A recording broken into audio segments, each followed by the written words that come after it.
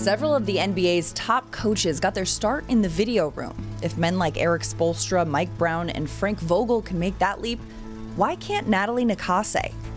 While the Clippers video room is where Nakase got her feet wet in the NBA, that's not where her story began. Nakase played college basketball at UCLA, where she went from walk on to a three year starter at point guard.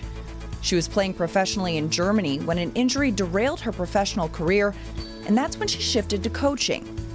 Nakase helmed a women's team in Germany for two years. She then headed to Japan, becoming an assistant in the BJ League. Just 12 games into her first season with the Saitama Broncos, her second team in Japan, head coach Dean Murray was fired. Nakase was promoted, making her the first female head coach in league history. Of course, she never lost sight of her goal to become a head coach in the NBA, and a year later, she landed an unpaid internship in the Clippers video room.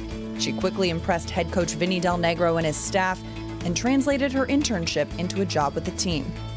When Doc Rivers took over in LA, Nakase earned the respect of both the new head coach and the players, regularly assisting and advising All Stars like Blake Griffin and Chris Paul.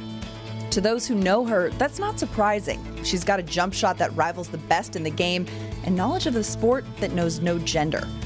In 2014, her third season with the team, Nakase broke another barrier.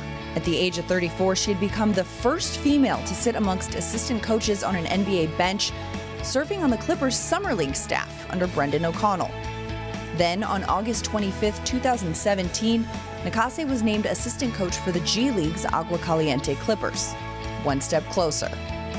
Nakase has never let her 5'2 stature, her gender, or the opinions of others sway her from following her dreams.